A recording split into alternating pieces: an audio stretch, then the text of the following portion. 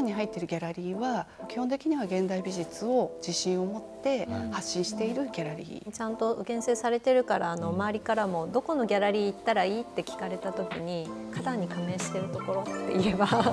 こう安心できるので。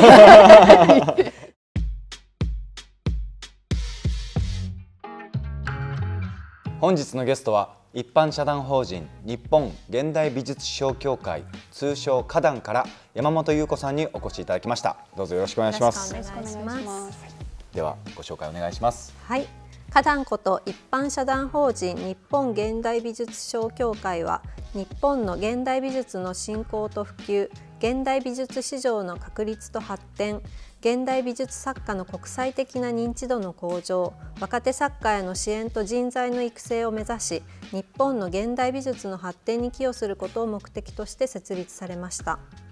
2023年7月7日より天王洲にて花壇現代美術2023展を開催するほか花壇有楽町という展示スペースも運営されています。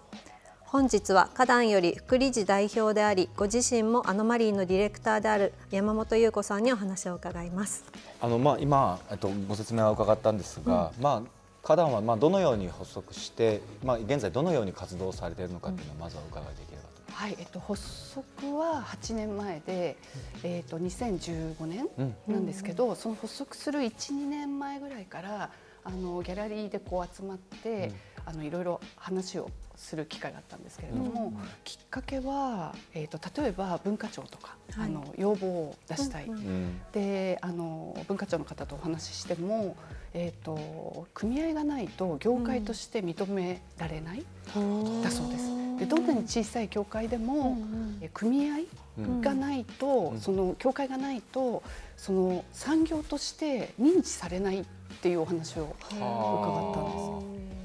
なるほど。私たち現代美術賞は産業として認められていないのだこの国では、うん、ということに気がついてただみんなこう個性がすごくある人たちがそれぞれギャラリーをやっていたりしますので、みんなでこう集まって同じことをするっていうタイプの人たちはもともとないんですよね。なんですがあのできる時は集まってみんなでこう協力してまあ、できることがあればっていう感じで、あの緩やかな団体として発足したらできるのではないかまあ、そのギャラリーさんからその、まあ、文化庁さんに何かしらこう訴えたいことがその時はあったってことえっとですね、その時は例えばアーティストの在外研修のこう枠を例えば若手は何歳までなのかとかあとアーティストがそのビザを取らなきゃいけない時のこう支援とかなんかいろいろこうお願いしたいことがあったんですよね。あの物の売買というよりはアーティストの支援とかだったんですけれども。なんかその要望書自体があのある一つの会社からの声では動かないっていうことが分かってですかね。スペースを持ち始めたのはここ2年ちょっとかななんですけれどもあの協力してくださるあのいろんな団体の方もいらっしゃって。で、えー、実際当初事務所を持っているだけの教会だったんですけれどもせっかくギャラリーなのだから。あのスペース小さいスペースでも持てれば、そこでこう持ち回りで展覧会をやったりするとよりなんていうんですかね認知度が高まるのではないか。あとは例えば、えー、東京だけじゃないので、あの地方の例えば大阪とか、いろんなところのギャラリーさんが東京であのアーティストの発表ができる場になったらいいなと。はい、まあでもその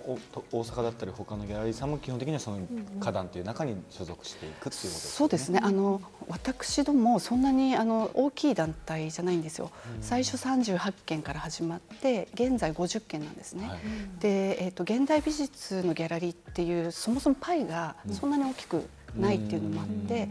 でただですね花壇に入っているギャラリーは日本を代表すると言ってはあれですけれどもそう思います、はい、あのちゃんとした方向性とかあの毛色はいろいろあるんですけれども基本的には現代美術を自信を持って発信しているギャラリーなので、つまりそんなにこう何百件にはそもそも原理的になりえないような教会です、ね、けれども、まあ、それぞれがまあ、一気当選的な 少数精鋭のギャラリーが本当に集まっているという。そうですね。でその花壇さんでまた新たにスペースを持ってそれぞれのギャラリーさんの、まあ、そのアーティストさんの作品をこううんうん。展示したりだとか、有楽町ですよね、これはいうんうん。はい、ちょっとあの CVJ さんという、あのカルチャービジョンビジョンジャパン、うんはい、のあのご協力もあってで丸の内のこの辺りっていうのは、再開発で少しずつ建て替えが進んでいて、はい。あのまあ、その予定があるビルなんですけれども、そこのちょうど1階が空きまして、うん。ご協力いただいて花壇として活動をしています。ここやっぱりあの有楽町の一等地なんですよね、うん。普段ギャラリーにいらっしゃらない方も、まあ、通りかかったり、あのオフィスで働いていらっしゃる方も、うん。はい、立ち寄ったりしてくれたりあと、私がここでお店番をしてた時に、高校生が入ってきて、すごく楽しかった。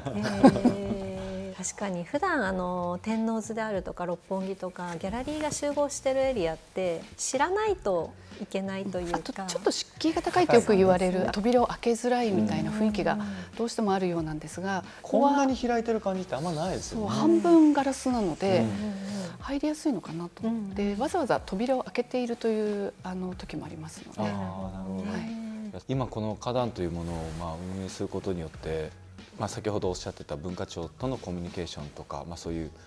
活動以外で何かこうなやってよかったなって思うようなことってありますか、なんかね基本的に手弁当なんですよ。あの 理事が6人いるんですけれども、もうちょっと時間がある時は走り回ってこう声をかけたり、あとまあちょっとお金を集めたりイベントをやろうとかやってるんですけれども。あのこのスペースがあることで、えー、と例えばギャラリー同士のあのキュレーションの何かこうコラボレーションの展覧会ができたりですとか、あと単純にこう展覧会ってオープニングがあるものなんですけれども、初日に。あのあとトークイベントができたりとか、交流の場になってるかなと思います。うん。そうですよね。それぞれのギャラリーさんにはコレクターさんだったりとかいろんな方々がまあついていらっしゃって、まあ、時にはあまり関係を持たないギャラリーさん同士もあったりだろう部分が、まあ、この花壇というものを持つことによってまた違う横のつながりが生まれてきている。そうですね。あの日本ってつまりすごくあの現代美術の市場も、まあ、大きくないですし良きライバルではあるんですけれども、どちらかというとやっぱ共同して、あの常に足並みを揃えるということではなく、そういう全全体主義的なことではなく、共通の何かを見つけて一緒にやろうっていう時は、結構この花壇ができてから多いんじゃないかなと思います。確かにあの最近アアートフェアとかもすごい数が増えてきてますけど、日本のギャラリーじゃあどこをお声掛けするっていうとやっぱり運営が皆さん花壇にお話ししようっていうこう一つの窓口ながるほど。まとまっていてどこかに声かけたらあれやしみたいなのもありつつ。手手っ取り早いんじゃないですか？あのまとめてみたいな。でかつおっしゃられたようにその日本を代表する有料なあの本当にギャラリーの集合体なので、うん。安心してそこをまずはっていうそこに納得していただけるかどうかってすごい大きいなっていうのはやっぱ外にいて感じます、あありがとうございます。なんかもっと歴史がもうちょっと長いのかなと思ってたんですけど、8年なんですね。まだあねのそうなんです。の。前にはねそういう似た団体はなかった、えっとですね、現代美術はなかったんですね。ただあの日本にはたくさん教会があの美術だけでもあって、はい。えっと全美連とか、うん。えっとあと美術クラブが東京と大阪となんとかととか、あのもっと言うと刀剣とかあの美術といってもすごくジャンルがいろいろありますのではいそういうところはもうあのたくさんあったんですけれども、現代美術だけなかったそうかですね現代美術にやっぱり特化して。る、はい、あのと特化した特化してます。うん。あのやっぱりやってることがちょっと違うあのね統計は統計でこういろいろあったり古美術は古美術さんでうん。いろいろあるわけですけれども現代美術というのは、えー、花壇が始めて最初かな。なるほど、や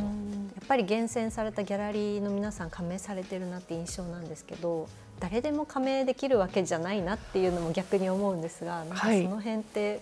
それはあのえっ、とですね当初えっ、と推薦制だったんですけれども、今は招待制になっています。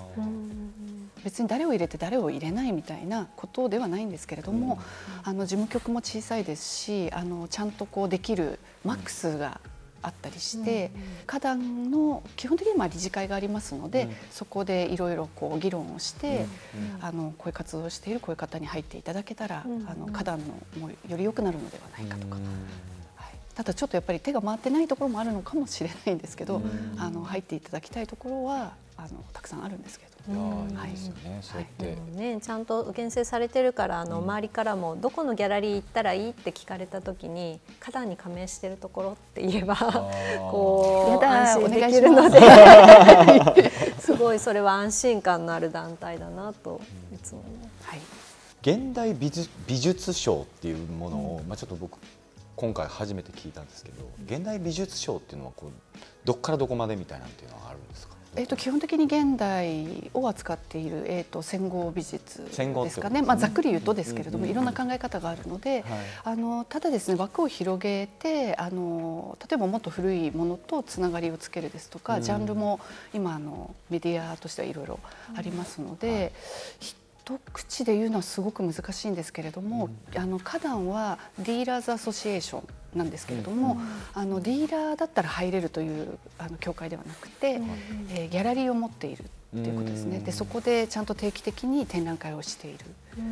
これは大事なポイントですので、確かに個人のの展示空間を持たないディーラーさんも世の中にたくさん、はい、いらっしゃいます。はい。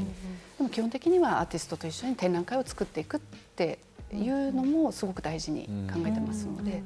でもそれぞれのギャラリーさんがちゃんとスペースを持っていてでさらに花壇もあってここで定期的にまあ展覧会を開いてらっしゃるわけですよね、はい、どれぐらいのペースでやられてるえっとね3週間に1回。えー、大変。